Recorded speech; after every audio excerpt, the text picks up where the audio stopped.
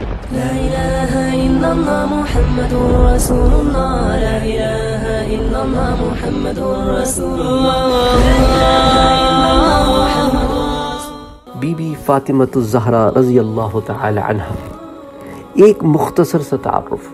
حضور اکرم صلی اللہ علیہ وآلہ وسلم کی سب سے چھوٹی شہزادی، مگر سب سے زیادہ چہیتی اور لاڈلی شہزادی. نام فاطمت اور لقب زہرا اور بطول اللہ اکبر اللہ اکبر اللہ اکبر۔ آپ کے فضائل اور آپ کے مناقب اور آپ کے درجات اور مراتب کا کیا کہنا۔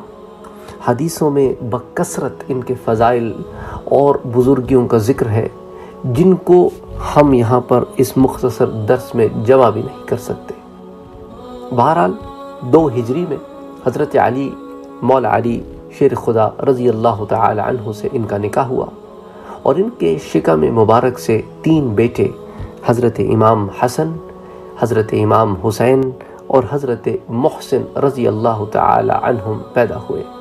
اور تین صاحبزادیاں بی بی زینب بی بی ام کلثوم اور بی بی رقیہ رضی اللہ تعالی عنہن یہ پیدا ہوئی حضرت محسن اور بی بی رقیہ، یہ تو بچپن ہی میں وفات پا گئی حضرت ام کلثوم کی شادی امیر المؤمنین سیدنا عمر رضی اللہ تعالی عنہ سے ہوئی، جن کے شکم مبارک سے ایک بیٹے حضرت زید پیدا ہوئے اور ایک بیٹی حضرت رقیہ پیدا ہوئی اور حضرت زینب کی شادی حضرت عبداللہ بن جعفر رضی اللہ تعالی عنہ سے ہوئی، جن کے فرزند عون اور محمد، یہ کربلا میں شہید ہوئے۔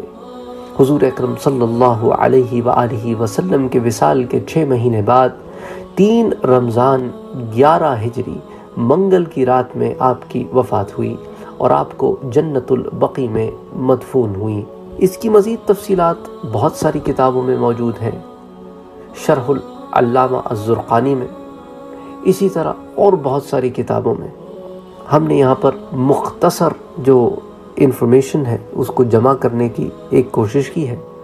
وما علینا الا البلاغ۔